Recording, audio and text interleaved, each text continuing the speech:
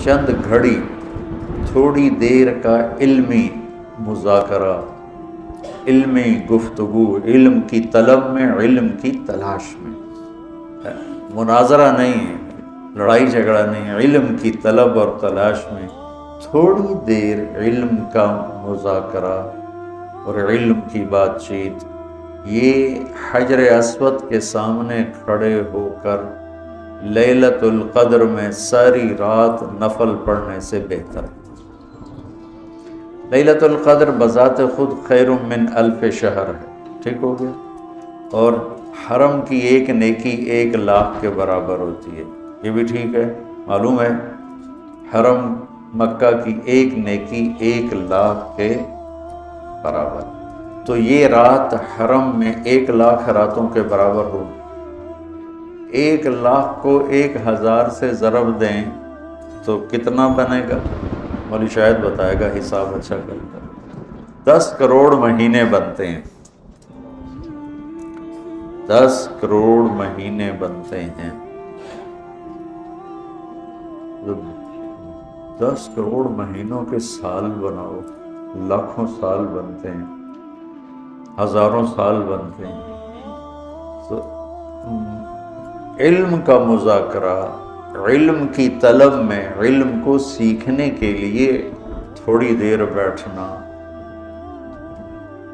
वो हजर असवद के सामने लैलतुल क़द्र में सारी रात नफल पढ़ने से बेहतर है। ये तो हो गया आम दिनों में।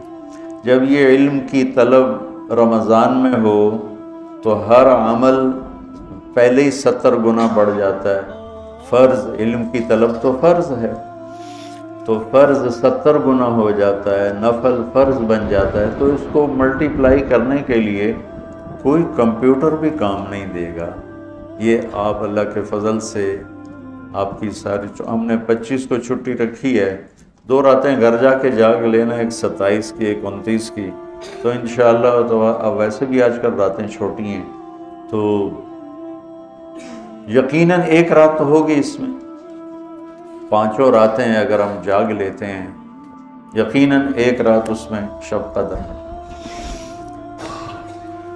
तो अल्लाह के नबी शद्दल मेज़र, इन आखिरी अशरे में खूब मेहनत फरमाते, कमर कस लेते और सारी ज़िंदगी एतकाफ़ बैठे। आपने कभी एतकाफ़ नहीं छोड़ा। फ़तह मक्का पे छूटा। लेकिन शवाल में आके बैठे।